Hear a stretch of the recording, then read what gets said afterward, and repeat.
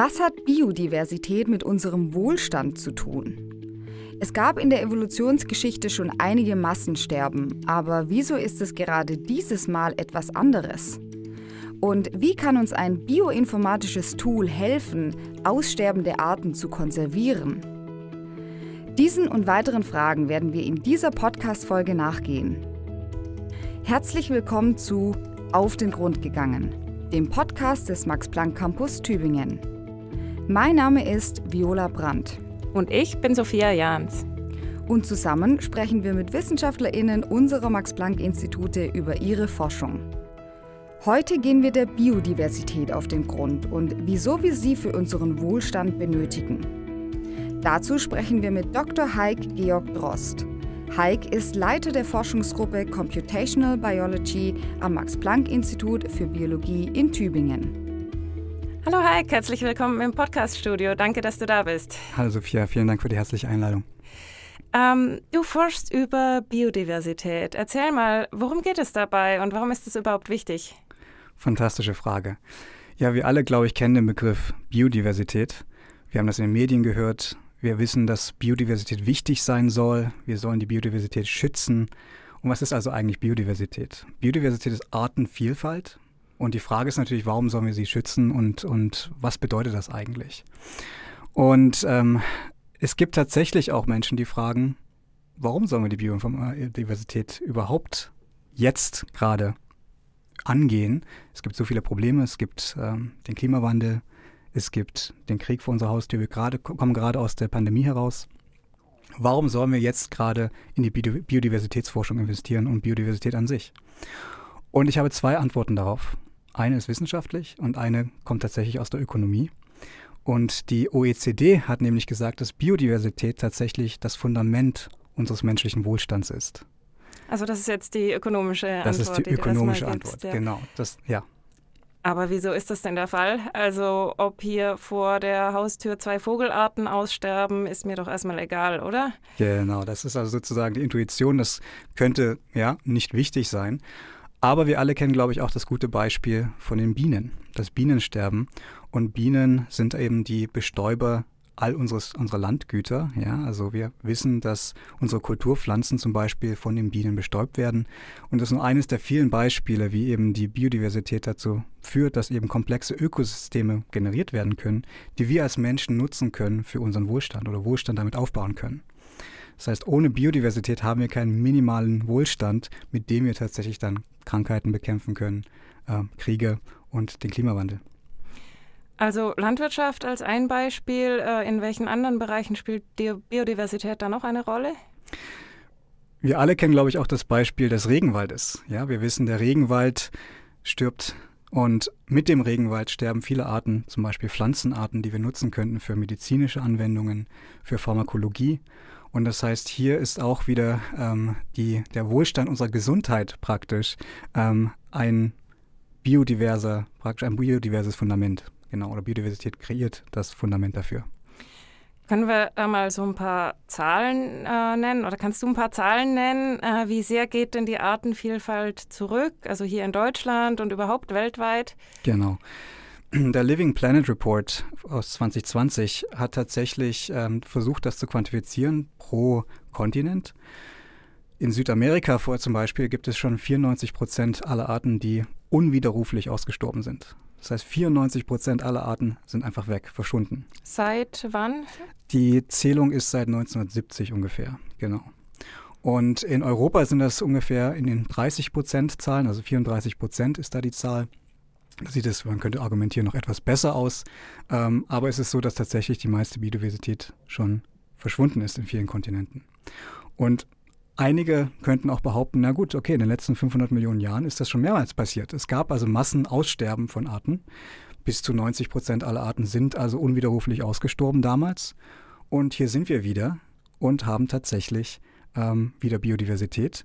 Warum sollen wir also jetzt in die Biodiversität ähm, tatsächlich rein investieren. Und wie gesagt, die Antwort, die ökonomische Antwort, ist, dass unser Wohlstand auf der Biodiversität basiert. Das ist die ökonomische Antwort und du hast gesagt, du hast auch noch eine wissenschaftliche Antwort darauf? Selbstverständlich. Wir sind natürlich Wissenschaftler Das heißt, unsere Antwort ist die Neugier an sich. Das heißt, in der Max-Planck-Gesellschaft sind wir natürlich neugierig, wie entstehen denn überhaupt neue Arten? Also eine große Frage unserer kleinen Forschungsgruppe zum Beispiel ist, wie entstehen denn eigentlich neue Arten oder wie entsteht Biodiversität an sich? Und was können wir eigentlich aus ihr lernen? Ja, das heißt, wie können wir tatsächlich die Daten der Biodiversität nutzen, um daraus etwas zu lernen für die Wissenschaft, für aber auch die Medizin oder dann generell unser, unseren Wohlstand? Aber nochmal ganz kurz zu den Ursachen. Warum passiert das überhaupt? Du hast ja gesagt, dass es schon mehrfach äh, in der Geschichte des Planeten passiert, dass Arten ganz massiv ausgestorben sind. Warum und was sind aktuell die, Aussa äh, die Ursachen? Also es gab fünf Massenaussterben in den letzten 500 Millionen Jahren und wir nennen es gerade das sechste Massensterben der Arten und das ist induziert durch den Menschen. Das heißt, die Idee hier ist zu sagen, wir wissen alle, dass es einen Klimawandel gibt der vermutlich Menschen induziert ist. Und die industrielle Revolution hat dazu geführt, dass wir einfach unser, unseren Planeten kultiviert haben. Wir kultivieren unseren Planeten, um Wohlstand für uns als Zivilisation zu schaffen. Und durch das Kultivieren nehmen wir aber Lebensräume von den Arten weg, die äh, tatsächlich jetzt existieren. Und das heißt, es gibt zwei Gründe. Einmal das Wegnehmen des Landraums der Arten und dann natürlich der Klimawandel an sich, der dazu führt, dass einige Arten können einfach mit diesem rapiden Klimawandel nicht umgehen. Das heißt, deren genetischer Bauplan ist nicht dafür gemacht, so schnell oder sich so schnell an diesen Klimawandel anzupassen. Was gäbe es denn für Möglichkeiten, dem entgegenzuwirken? Also natürlich zu versuchen, den Klimawandel zu bremsen, ja, äh, das versuchen wir, aber kann man sonst noch was gegen das Artensterben tun? Absolut. Also es gibt natürlich mehrere Ansätze, ein Portfolio von Ansätzen. Und der ganz klassische Ansatz ist natürlich Konservation. Das heißt, wir versuchen Landräume zu schaffen wieder für bedrohte Arten, ähm, Naturschutzgebiete und so weiter. Aber es gibt auch einen modernen Weg in den letzten 20 Jahren, der tatsächlich uns erlaubt, das Erbgut aller Arten zu entschlüsseln, also den Bauplan, die DNA, die Gene der verschiedenen Arten zu sequenzieren wir nennen das DNA-Sequenzierung, das heißt, wir können den Bauplan, das Erbgut einer Art ablesen und dann in Datenbanken speichern. Ja? Und es gibt äh, tatsächlich ähm, Mega-Konsortia derzeit, das nennt sich zum Beispiel das Earth Biogenome Projekt, was versucht wirklich 1,8 Millionen Spezies, äh, Arten äh, zu sequenzieren und dann in Datenbanken zu speichern in den nächsten 10 bis 20 Jahren. 1,8 Millionen von wie vielen, die wir vermutlich haben auf ja. der Welt? Das meiste, das bisher sequenziert und bekannt ist, sind natürlich dann Viren, Bakterien und Archaea zum Beispiel. Aber in den Vielzellern und Einzellern, die eukaryotischer Natur sind, kennen wir ungefähr ja, 10 bis 15 Millionen Arten.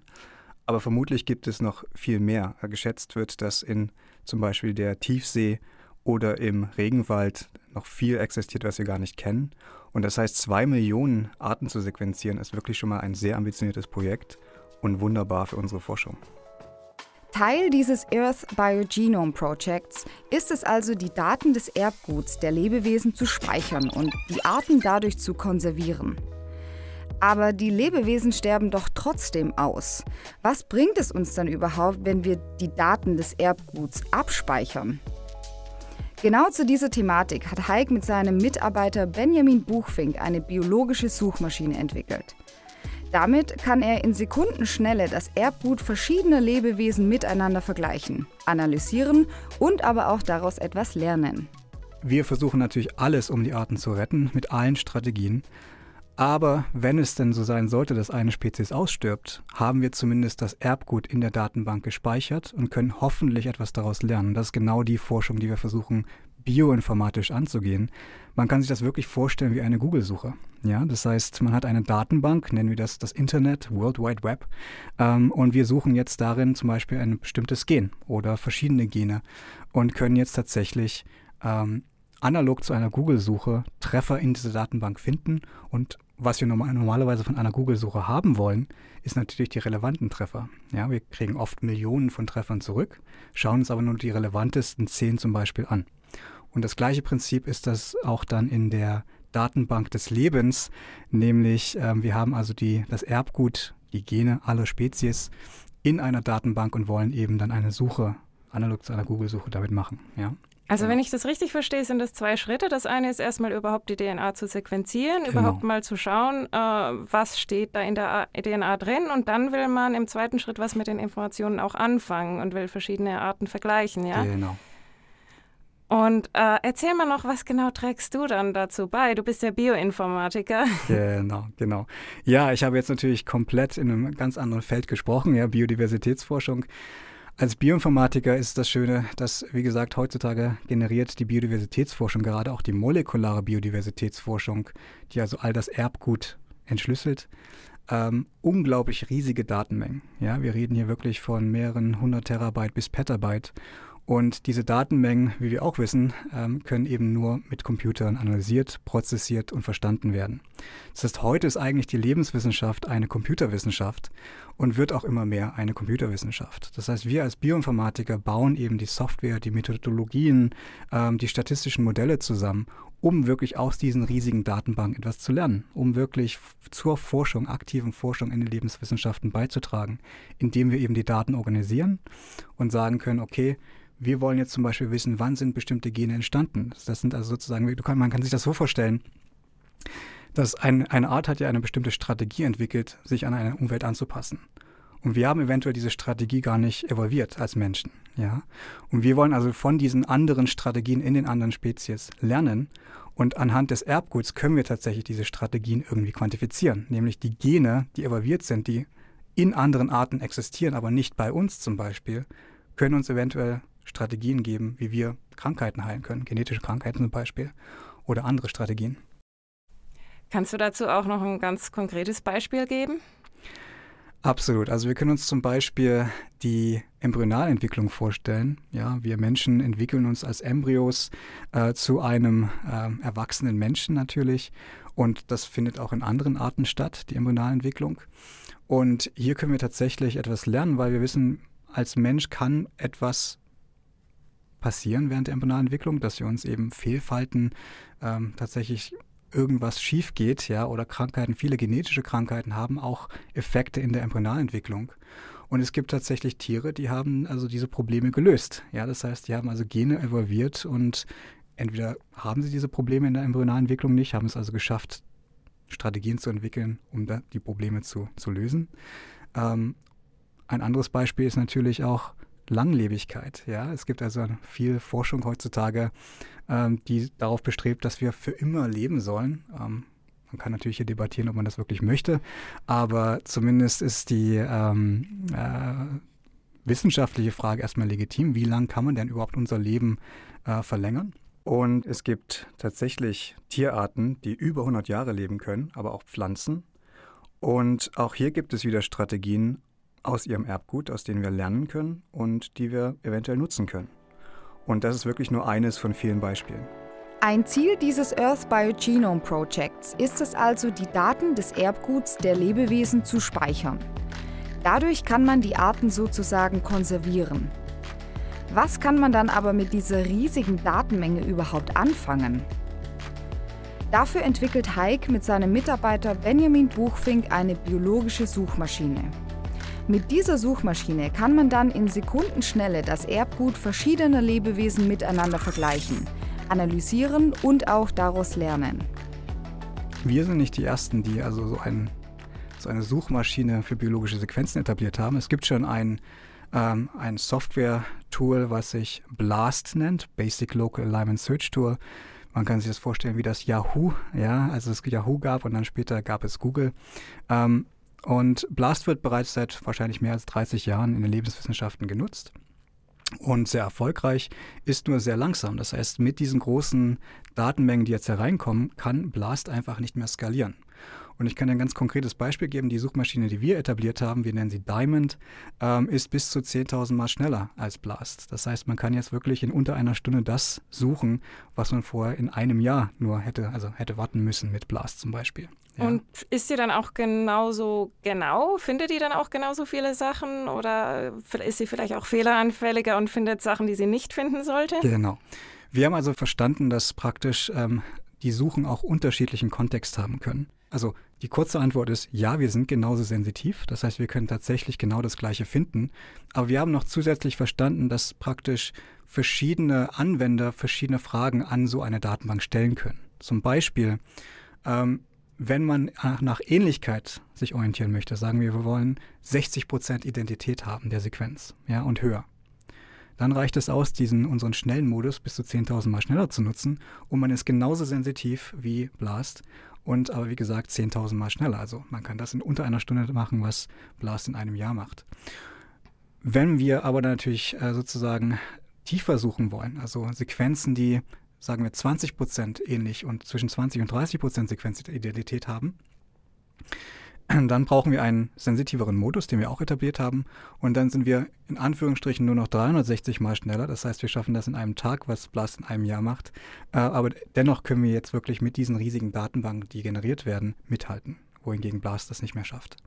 Also ihr habt Diamond, quasi einmal das normale Diamond und einmal Diamond Pro, äh, das nochmal äh, genauer findet. Genau, richtig. Ja, wir nennen das Very Sensitive und Ultra Sensitive. Ähm, richtig, also verschiedene Sensitivitätsstufen, die es uns erlauben, ähm, je nach Fragestellung spezifisch, aber auch schnell, immer schnell zu suchen. Bis jetzt haben wir darüber gesprochen, dass die Arten aussterben. Aber kann es auch sein, dass in der gleichen Zeit neue Arten entstehen wir haben ja gerade ganz am Anfang darüber gesprochen, dass Biodiversität sich ja auch selbst wieder regenerieren kann. Ja, das heißt, wie gesagt, es gab Massensterben bereits fünfmal. Jetzt sind wir im sechsten, ähm, in der sechsten Variante davon. Ähm, und bisher hat sich ja die Biodiversität immer wieder erholt. Das heißt, langwierig gesehen, denke ich, kann die Biodiversität sich auf jeden Fall erholen, aber wir reden hier von Millionen oder Hunderten Millionen von Jahren. Ja, das heißt, erst gibt es eine Kontraktion, das heißt, erst sterben die Arten aus. Und dann, wenn die Umweltbedingungen wieder korrekt sind dafür, dann können, kann sich die Biodiversität natürlich wieder ausweiten, weil natürliche Variation ein Grundprinzip der Biologie ist praktisch. Aber hier reden wir von, wie gesagt, mehreren Millionen oder hundert Millionen Jahren. Und wir aber als Menschen wollen ja, wie gesagt, alles kultivieren. Das heißt, wir wollen sicherstellen, dass die, die Arten, die unser Ökosystem heutzutage erzeugen, weiterhin da sind, damit wir unseren Wohlstand darauf aufbauen können. Ja, das heißt, wir wissen einfach nicht, was passieren würde, wenn wir diese Ökosysteme so rapide zerstören. Dementsprechend ist es umso wichtiger, unsere jetzigen Ökosysteme so gut wie möglich zu schützen. Und aber auch mit bioinformatischen Tools wie Diamond aus den Erbinformationen etwas lernen zu können. Mich würde jetzt aber auch noch interessieren, ob Heik sich eher als Biologe oder als Informatiker sieht. Ich selbst bin Informatiker, habe mich dann in Bioinformatik äh, spezialisiert, äh, habe also wirklich am Institut für Informatik Bioinformatik studiert, was eigentlich ein Informatikstudiengang war, ähm, und habe mich dann aber sehr schnell in die Biologie verliebt. Heike hat zunächst in Halle Bioinformatik studiert und dann in Cambridge im biologischen Bereich geforscht. Wie kam er dann aber schließlich ans Max-Planck-Institut für Biologie nach Tübingen? Kurz nachdem ich in Cambridge angefangen habe, hat sich Detlef Weige, Direktor bei uns an der, in der Abteilung für Molekularbiologie, bei mir gemeldet. Und Detlef ist wirklich ähm, praktisch einer der größten Pflanzenforscher unserer Zeit. Und für mich war das natürlich eine Ehre, von ihm äh, tatsächlich dann kontaktiert zu werden und gefragt zu werden, hättest du denn Interesse, bei uns eine bioinformatische Computational Biology Gruppe zu etablieren? Und ähm, ich bin absolut begeistert vom Motto der Max-Planck-Gesellschaft zu sagen, uns wir fragen nicht, wofür brauchst du das? Wir haben zwar viel darüber heute gesprochen, wofür braucht man eigentlich Biodiversität und so weiter. Und das ist übrigens auch eine Frage, die in Cambridge sehr oft gestellt wurde. Wofür brauchen wir das eigentlich? Wohingegen an der Max-Planck-Gesellschaft ist die Neugier das Wichtige. Das heißt, wir wissen einfach noch nicht genug über die, über, über die Biodiversität. Was generiert, was erzeugt Biodiversität? Wie was ist Biodiversität und wie können wir daraus lernen als Grundfrage, als einfach neugierige Frage, die eventuell später tatsächlich auch Anwendung findet natürlich. Aber das hat mich absolut begeistert, hierher zu kommen und zu sagen, ich etabliere eine kleine Gruppe mit einer großen Frage und ähm, versuche tatsächlich ähm, zu untersuchen, wie wird Biodiversität ähm, als Prozess erzeugt. Ja, also ganz klassische Frage, die tatsächlich schon seit 2000 Jahren gestellt wird, aber jetzt eben mit, mit molekularen Daten und informatischen Methoden. Und wo geht es jetzt bei dir hin in der Forschung? Also nachdem ihr jetzt Diamond, diese Google-Suche für äh, DNA gemacht habt, was ist dann der nächste Schritt für dich? Ja. Ja, es gibt, glaube ich, viele äh, Schritte. Also einmal natürlich informatisch im Sinne von, es gibt noch viele, viele technische Probleme, die wir lösen müssen. Wie gesagt, Petabyte von Daten anzufassen, ist technologisch wirklich sehr schwer. Google, Facebook, Amazon und so weiter bezahlt sehr gutes Geld an sehr talentierte Leute, um das überhaupt zu ermöglichen. Und hier haben wir einfach in der Forschung noch gar nicht die Mittel. Das heißt, wir sind viel, viel langsamer hinterher, aber wir kennen zum Teil Technologien, ähm, die dort entwickelt werden, die wir jetzt auch in der Wissenschaft einsetzen können. Das heißt, hier ist einmal die reine informatische Forschung. Wie können wir überhaupt diese Daten organisieren in diesen Größenordnungen und daraus etwas lernen oder sogar Vorhersagen machen? Und dieser Punkt Vorhersage ist die Richtung, in die ich gerne gehen möchte. Das heißt, wie können wir tatsächlich aus diesem riesigen Datensatz, den wir jetzt irgendwie schaffen zu organisieren, etwas lernen und vorherzusagen, zum Beispiel, okay, das ist diese, die Spezies, die am meisten bedroht ist in den nächsten Jahren, weil wir aus ihren Erbgut bereits gelernt haben, dass sie nicht gut mit Klimawandel oder schnellen Veränderungen umgehen kann.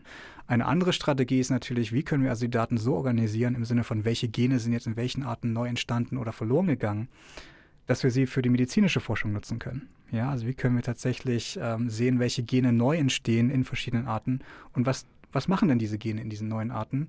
Und können wir diese neue Funktion, diese Strategie eventuell für uns nutzen, für uns als Menschen, ja, in, in der medizinischen Forschung, Pharmakologie und so weiter. Aber auch in der Landwirtschaft, ja. Wir wissen zum Beispiel, dass Ertrag ähm, auch auf jeden Fall wichtig ist. Das heißt, es gibt einige Pflanzen, die haben das optimiert, andere nicht. Und wir können also eventuell tatsächlich auch etwas lernen darüber, wie wir Ertragssteigerung ähm, umsetzen können und so weiter. Es bleibt auf jeden Fall spannend, wie sich die Lebenswissenschaften in den nächsten Jahren durch bioinformatische Tools weiterentwickeln werden. Und hoffen wir mal, dass wir den Verlust der Artenvielfalt bremsen können. Weitere Informationen zu Hikes Forschungsgruppe Computational Biology findet ihr in den Shownotes dieser Folge. Auf den Grund gegangen, ein Podcast des Max Planck Campus Tübingen. Vielen Dank an Dr. Heik Georg Drost für das Interview zu dieser Folge.